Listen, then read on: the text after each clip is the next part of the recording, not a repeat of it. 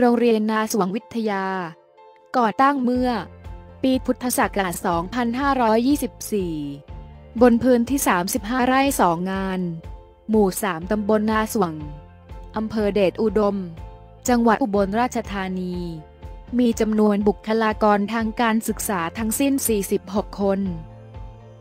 มีจำนวนนักเรียนทั้งสิ้น 697 คน ภายใต้การบริหารของนายเอกสิทธิ์สองแสง ผู้อำนวยการโรงเรียนได้กำหนดวิสัยทัศน์การพัฒนาโรงเรียนดังนี้ สร้างคุณภาพ สร้างโอกาส สร้างอนาคต โดยทำกรอบการบริหารที่สอดคล้องกับยุทธศาสตร์ชาติ 20 ปี จุดเน้น กระทรวงศึกษาธิการ นโยบาย สำนักงานคณะกรรมการการศึกษาขั้นพื้นฐาน นโยบาย สำนักงานเขตพื้นที่การศึกษา ส่งผลให้โรงเรียนประสบความสำเร็จในด้านต่างๆ ดังนี้ ด้านบริหารวิชาการ โรงเรียนได้เปิดหลักสูตรที่ตอบสนองความต้องการของผู้เรียน โดยได้ทำข้อตกลงกับสถาบัน การจัดการ ปัญญาพิวัตรในหลักสูตรห้องเรียนเครือข่าย สินธุรกิจ การค้าสมัยใหม่ หลักสูตรเตรียมวิศวกรรมศาสตร์ ซึ่งทุกหลักสูตรมีทุนสำหรับศึกษาต่อระดับอุดมศึกษาที่สถาบันปัญญาพิวัตรและมีงานทำแน่นอน พร้อมห้องเรียน MSP หลักสูตรวิทย์คณิตเข้มข้น ทั้งมต้นและมปลาย โดยไม่เก็บค่าใช้จ่ายเพิ่มเติม โรงเรียนได้นำนวัตกรรมจาก KKU Smart Learning มาใช้กับนักเรียนระดับชั้นมัธยมศึกษาตอนต้น เพื่อยกระดับผลสำฤทธิ์ทางการเรียนในรายวิชา คณิตศาสตร์ วิทยาศาสตร์ และภาษาอังกฤษ ผู้บริหารได้รับรางวัลบุคลากรดีเด่น เนื่องในวันครูแห่งชาติ ประจำปี 2563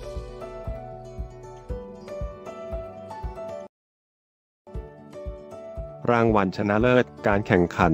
UTP Cabling Contest รางวัลรองชนะเลิศอันดับหนึ่ง การแข่งขันจัดสวนถาด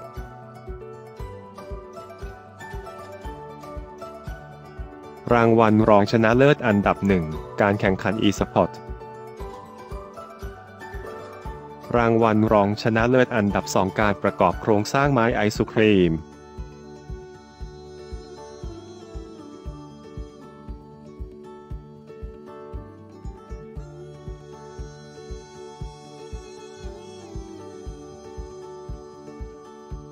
รางวัลชนะเลิศ การตอบปัญหาด้านกฎหมาย เนื่องในวันระพี ณ มหาวิทยาลัยราชภัฏศรีสะเกษรางวัลรองชนะเลิศอันดับ 2 ระดับจังหวัด โครงการอัจฉริยะยุวชนประกันภัย ประจำปี 2563 ประเภท คลิปวิดีโอสั้น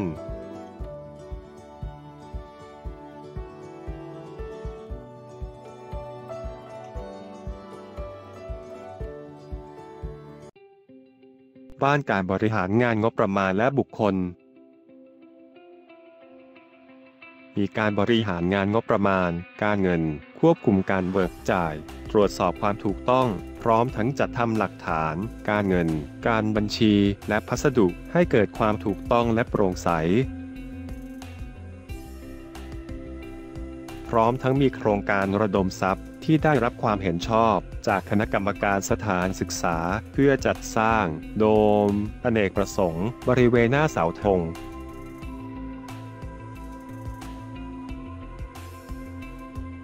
การบริหารงานบุคคล มีการจัดทำแผนอัตรากำลัง ให้สอดคล้องกับกฎหมาย ระเบียบ นโยบาย จุดเน้น เพื่อวิเคราะห์อัตรากำลัง ให้สอดคล้องกับสภาพปัญหาและความต้องการ อีกทั้งบุคลากรยังได้รับรางวัลสตรีดีเด่น เนื่องในวันสตรีสากล ประจำปี 2564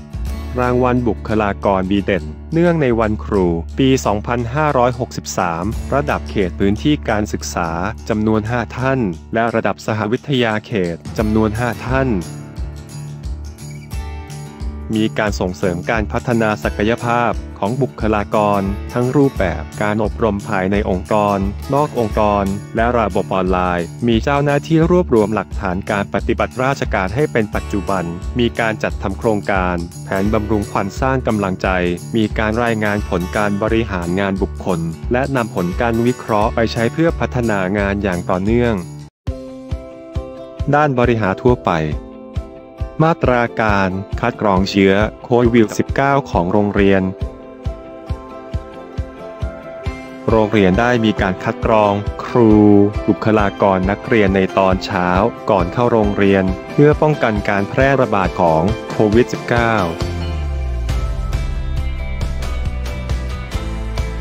การซ่อมแซม ปรับปรุงอาคารเรียน ได้มีการปรับปรุงอาคารเรียน โดยการเปลี่ยนหลังคาและทาสีอาคารใหม่ เพื่อให้อาคารเรียนนั้นมีความปลอดภัยและสวยงาม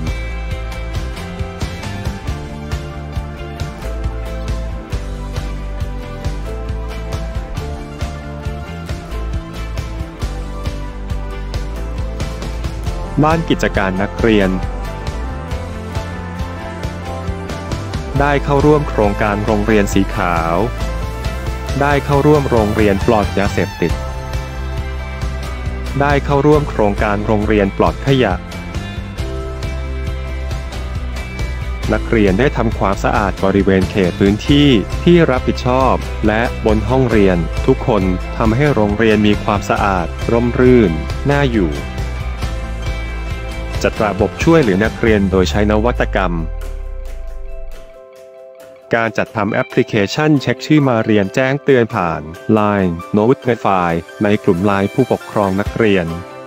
ซึ่งได้รางวัล 1 โรงเรียน 1 นวัตกรรม จากครูรุษภา ปีการศึกษา 2564ดูแลช่วยเหลือนักเรียนยากจน ยากจนพิเศษ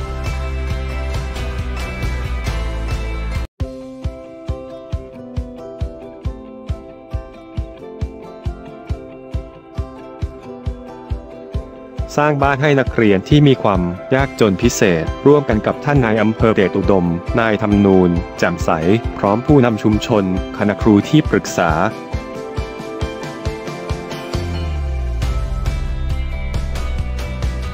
โมเดลบริหารจัดการโรงเรียน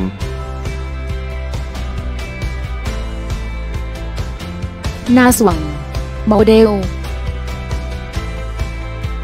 โมเดลการบริหาร N New Normal การเรียนรู้วิถีใหม่ A a c t i v e s กระตุ้นการเรียนรู้อย่างมีความสุข และสร้างสรรค์ S Social การติดต่อสื่อสารทางเทคโนโลยี U Unity ความสามัคคีในองค์กร A Activement ความสำเร็จ N Network ภาคีเครือข่าย G Go ความมีชื่อเสียงรุ่งเรือง ภายใต้กรอบการบริหารงาน P D C A P ร่วมกันคิด ประสานใจ D ร่วมกันลงมือทำ C ร่วมการตรวจสอบ A ชื่นชมผลงาน ปรับปรุง แก้ไข นโยบาย การบริหารสู่ความสำเร็จ4ดี4เด่น 4 เน้น 4 ดี 1. ได้เข้าร่วมโรงเรียนดี 4. มู่เมือง 2. นักเรียนดี ครูบุคลากรดี 3. สภาพแวดล้อมดี 4. ชุมชนดีภาคีเครือข่ายดี 4. เด่น 1. เด่นวิชาการ เทคโนโลยี 2. เด่นศิลปะดนตรี กีฬา 3. เด่นระบบดูแลนักเรียน 4. เด่นการบริหารจัดการ 4. เน้น 1. เน้นนอมนำศักดิ์พระราชา 2. เน้นความปลอดภัย นักเรียน บุคลากรทางการศึกษา 3. เน้นโอกาสทางการศึกษา 4. เน้นความเสมอภาคขอขอบคุณท่านคณะกรรมการการประเมินประสิทธิภาพประสิทธิผล การบริหารโรงเรียนมาณโอกาสนี้ขอบคุณครับ